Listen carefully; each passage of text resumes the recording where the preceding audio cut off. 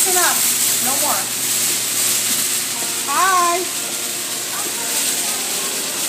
What? The okay? Say hi to everybody. And quit opening their garage.